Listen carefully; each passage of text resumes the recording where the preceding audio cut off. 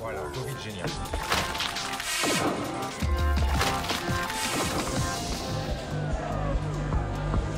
Il était une fois sept taupes dodus qui creusaient tranquillement leur galerie souterraine lorsqu'elles rencontrèrent le jeune metteur en scène Philippe Ken. Aussitôt, ce fut le coup de foudre entre les mammifères fuisseurs et l'homme de théâtre. C'est tout naturellement qu'ils mirent au monde un spectacle, La Nuit des taupes, au théâtre Nanterre-Amandier en 2016. Face au succès, Philippe et ses adorables boules de poils décidèrent de monter le groupe Mollwurf, taupe en allemand. Invité au centre Barbara de Paris, le groupe le plus underground de la Terre plonge son museau dans notre coffre à la recherche d'un souvenir de vinyle. Zizi Taupe? Hit Parade, c'est un petit peu l'objectif de, de là cette année, c'est-à-dire euh, espérer que ce groupe qui est sorti de terre euh, il y a à peine un an puisse rentrer justement dans, dans- dans les hits, dans les charts, sachant que leur grand rêve c'est de, c'est de jouer au Hellfest l'année prochaine.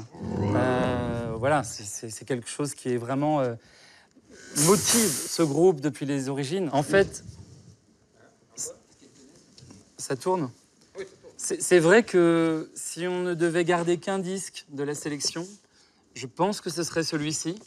Euh, je, fais complètement abstraction du style musical, hein, dont je pense les taupes ne se sentent pas proches.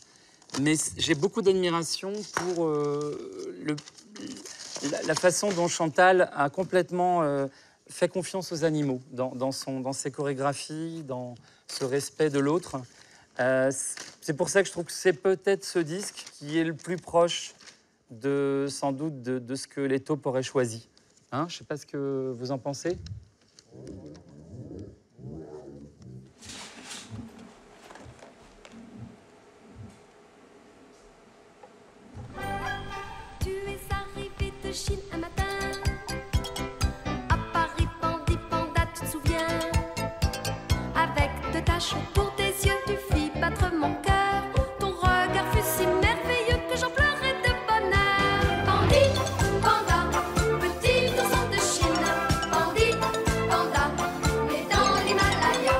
Un esprit euh, très proche de Samuel Beckett chez la taupe, qui assume de creuser, de devoir travailler, euh, de devoir survivre en, explorant le sous-sol, en mangeant des vers de terre, euh, et que cet instinct de survie et de conscience de la mort est peut-être une leçon à tirer pour nous, pauvres humains. Il n'y a pas de notion forcément de réussite chez les taupes. Il n'y a, a pas de carrière chez la taupe. La taupe est peut-être l'animal le plus sensible qui sait exactement ce que les humains écoutent au-dessus de la terre, qui connaît l'histoire du rock'n'roll, qui connaît l'histoire de la musique classique, qui, vit sous nos pieds et qui sent les vibrations musicales. Euh, moi, j'ai simplement euh, organisé les dates. euh, on a signé les contrats avec le théâtre parce qu'elles ne savent pas du tout s'occuper de cette partie. Et avec ce- cette notion maintenant musicale pour elles, il y a un grand désir de rencontrer d'autres animaux, pas seulement des humains, mais peut-être se produire dans des terriers avec des blaireaux, peut-être en Amazonie avec des singes, peut-être pour des crocodiles.